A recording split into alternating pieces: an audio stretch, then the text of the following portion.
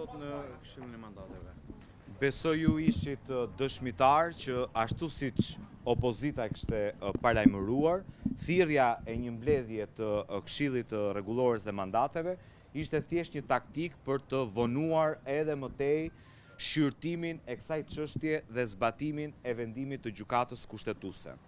Ajo që Kushtetuta thotë dhe që në fakt është konfirmuar me vendimin e fundit të Gjykatës Kushtetuese, po dhe me disa vendime të mëparshme të kësaj gjykate, është që kur një e dhjeta e deputetëve të Kuvendit të Shqipërisë ngrenë një mocion sa i takon papajtueshmërisë së mandatit të një deputeti të Kuvendit të Shqipërisë, Kuvendi është i detyruar ta dërgojë çështjen për shqyrtim në themel në Gjykatën Kushtetuese.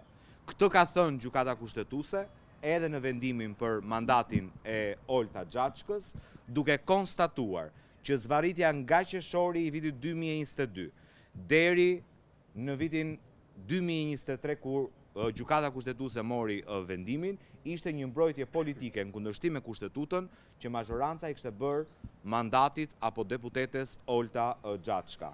Ju e patë edhe sot, që në fakt për këtë, dhe kjo është arsyeja pse unë dola në këtë konferencë për shtyp, sepse qëndrimi i mazhorancës hedh në erë parimet e shtetit ligjor.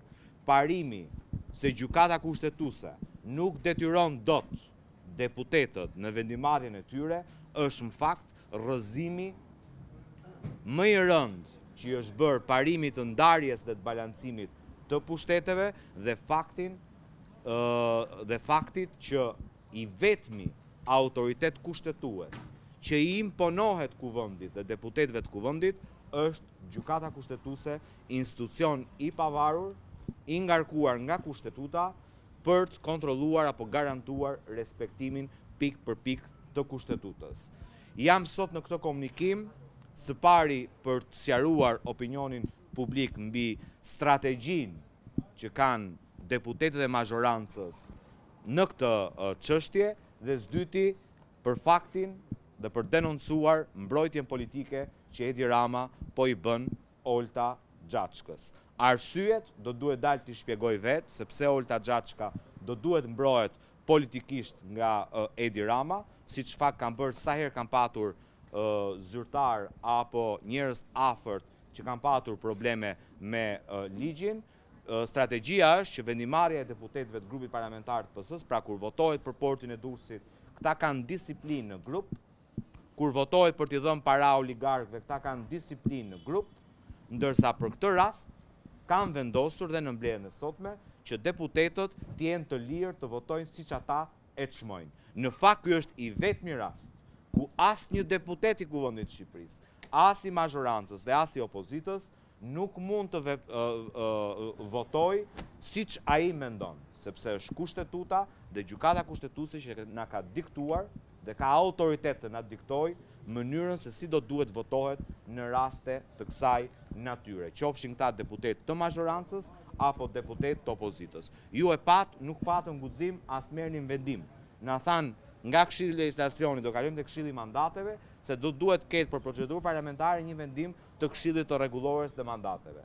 Nuk ka dhënë sinjal akoma Edi Rama se çfarë do të bëhet dhe nuk morën dot asnjë vendim. Pra, edhe ju nuk e kuptuat se çfarë ata vendosën, sepse nuk kanë marrë akoma sinjalin, ata mendojnë që i vetmi që mund të urdhërojë se si ata votojnë është Edi Rama. Pra nuk pyesin as për Kushtetutë, as për vendimet e Gjykatës Kushtetuese. Në fakt deputetët janë përfaqësues të popullit dhe i vetmi detyrim që kanë, Është ai betim që kanë bërë mbi Kushtetutë për t'iu nënshtruar Kushtetutës. Dhe në këtë rast do duhet të zbatohet vendimi i Gjykatës Kushtetuese. Dhe një fjali të fundit përpara se t'ju lejoj të bëni çfarëdo lloj pyetje që ju dëshironi, kam dhe një apel për partnerët ndërkombëtarë që kanë nxitur dhe kanë çuar përpara zbatimin korrekt të reformës në drejtësi, nëse Kuvendi i Shqipërisë, në vitin dy mijë e njëzet e katër do të vinte në diskutim vendimet e Gjykatës Kushtetuese, këtu pastaj nuk mund të flitet më as për reformë drejtësi, as për drejtësi të re,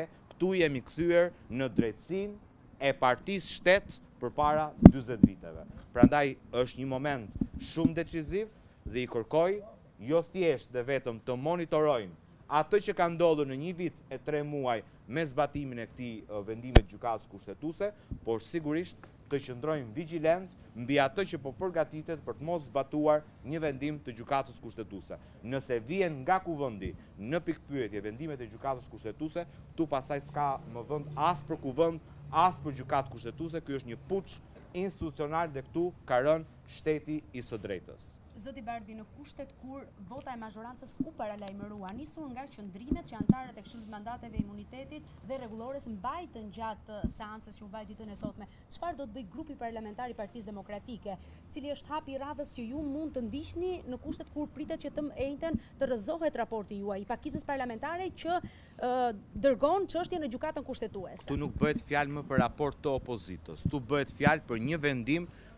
të Gjykatës Kushtetuese, nëse mazhoranca arrit të uzurpojë edhe kompetencat e Gjykatës Kushtetuese, po e përsëris, ky është puçi më i rëndë institucional i ndodhur në këto tridhjetë e tre vite. Nuk mund të ndodhë kurrë që thjesht për faktin se Gjykata Kushtetuese ka marrë një vendim kundër një deputeti dhe bashkëpunëtori Edi Ramës, siç është rasti konkret Olta Xhaçka, mazhoranca thotë nuk më pëlqen vendimi dhe unë nuk zbatoj vendimin e gjykatës kushtetuese. Nuk flitet më këtu as për shtet ligjor, as për drejtësi të re, as për reformë në drejtësi.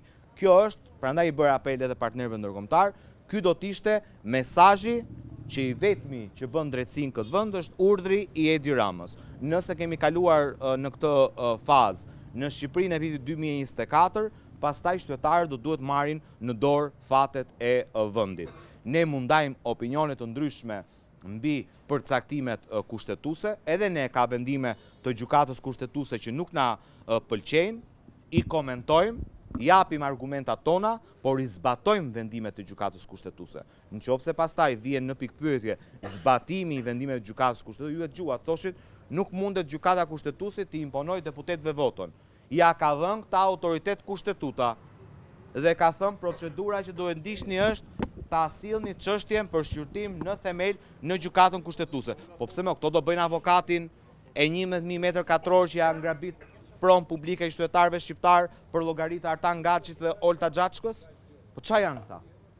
Këta në vend që të distancohen, Në vend që t'i thonë drejtësisë hetojeni atë që ka grabitur njëmbëdhjetë mijë metër katrorë pronë publike me transaksione tek të tretët dhe me dokumenta të falsifikuara, këta bëhen avokatë të paligjshmërisë. Është e paimagjinueshme kjo që ka ndodhur gjatë gjithë këtyre muajve, por veçanërisht kjo që paralajmëruan sot me mbledhjen e Këshillit të Mandateve. Nuk ishin të zot për të marrë një vendim.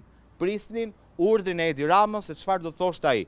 Në fakt nuk janë betuar mbi urdhrin e Edi Ramës, janë betuar mbi Kushtetutë, do duhet të respektojnë Kushtetutën.